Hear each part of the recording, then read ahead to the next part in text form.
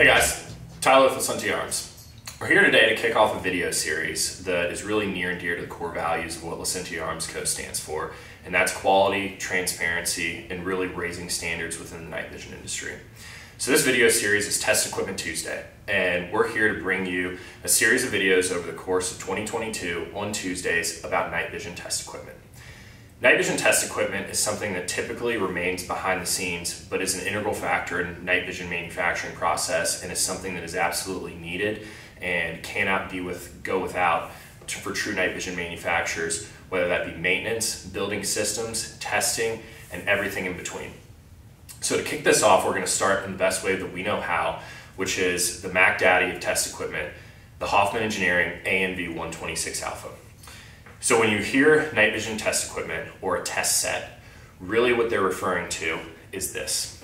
Even though it looks like it's a small, simple box, this thing is packed with loads of capability for a technician when assembling, maintaining, or testing night vision optical devices, whether that be complete systems or tubes. This here is really the, the baseline of that everything else works off of. It's a modular system. It's something that has multiple different other components to it, adapters, different things that complement the capabilities of this device. But this is the base, the basis of getting started and really being able to test and maintain systems and manufacture systems in the appropriate way. So like we said, this is the ANV 126 Alpha by Hoffman Engineering. This is the most advanced test set on the market and is used from everybody from small night, night vision manufacturers all the way up to L3 Harris and Elbit Systems of America for those that are actually doing it correctly. This system allows users to test everything from tube quality to system resolution to collimation for goggles, set diopter, set infinity focus, and everything that's needed when building a night vision optical device correctly. So as you can see, there's a lot of importance that comes down to having test equipment. And one thing that we are all about at Licentia Arms is raising standards, increasing transparency, and really looking out for the customer when it comes to investing your money.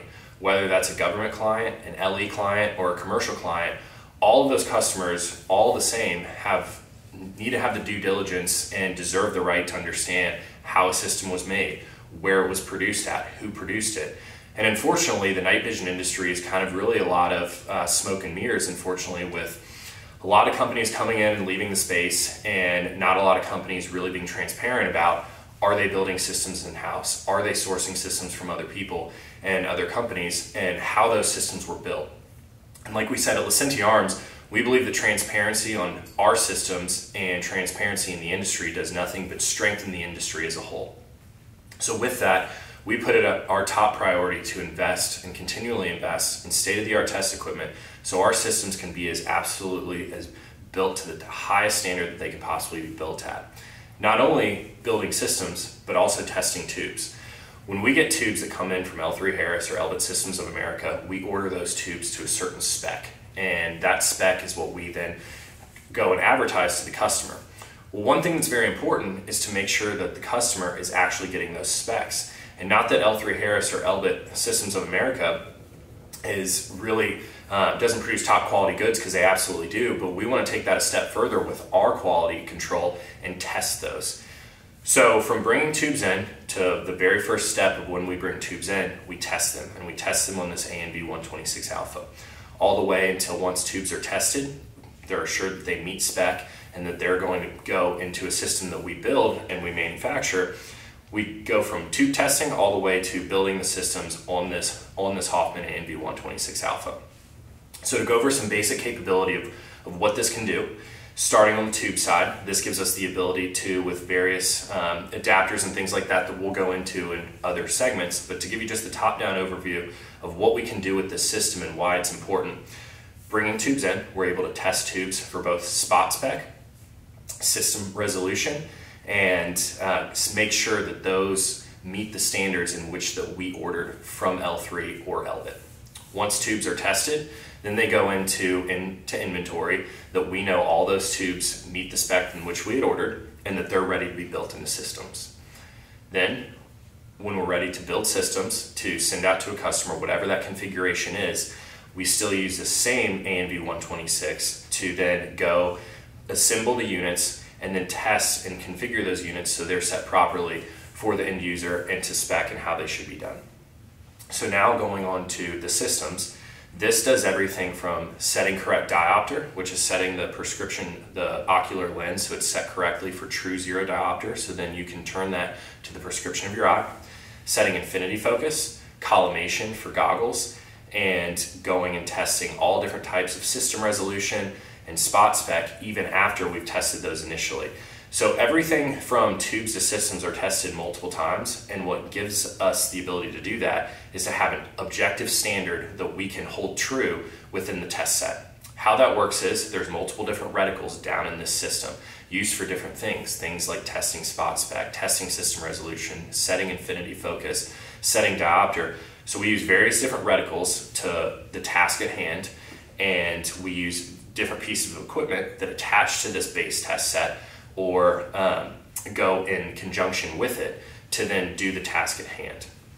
But the ANV 126 is the basis of it all. It's the Mac Daddy, and what's nice about the ANV 126 that a lot of people don't realize is you look at legacy test sets like a TS 3895, they are not set up appropriately to accurately test white phosphor. The ANV 126 alpha was something that was uh, developed with in conjunction with the two manufacturers, L3 Harris and Elbit Systems of America, when that transition from green phosphor to white phosphor was made. So maintainers and technicians were able to accurately test white phosphor.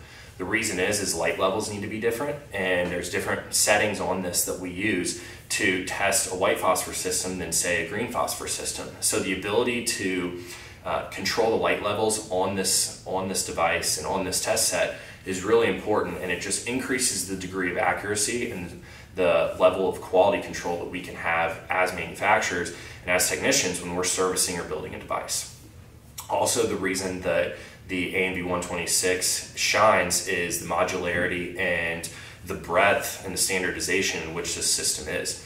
What's nice about this is when we test, say, a PVS 31 alpha, we're testing that PVS 31 alpha on the same system that L3 Harris is testing their PVS 31 alpha on. So there's no, so there's an objective standard that the night vision industry can use when communicating things like certain specs and system system requirements that the end users need or uh, devices are ordered off of. So that level of just objectivity, it really takes a lot of the guess and check out of it.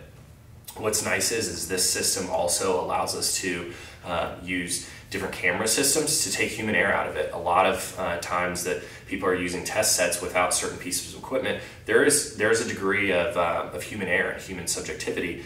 But with the Hoffman system that we use as a whole, it takes that out further, pushing standards and letting our systems and our processes be as good as it can get. So we hope that this is something that uh, a series that you really find helpful and something that just adds a level of transparency to what Licentia Arms Co. is doing, the level that your system is built to, and the quality and the attention to detail behind the scenes. Because the unfortunate truth is, guys, most night vision companies aren't doing it right. And one thing that we hold true is that level of transparency and the ability for us to help push the standards of the industry. And we think it's important for using test equipment. People that are buying from other suppliers on a dealer basis to know that the person that they're buying from is using test equipment. Because again the unfortunate truth is there's some big name companies out there that arguably aren't using test equipment and that's provable because of objective standards that the Hoffman that the Hoffman uses. So with this series, we really want to welcome all night vision companies out there to participate in Test Equipment Tuesday show what test equipment you're using, how it impacts your quality, and really how you're pushing standards with it. Because together and really showing transparency and raising those standards, we can make a stronger industry. And ultimately, a stronger industry is going to benefit the customer, and ultimately, that just means that the customer gets a better product. So this is Test Equipment Tuesday. This is our first segment. This is over the Hoffman Engineering ANV 126 Alpha, and I'm Tyler with Licentia Arms.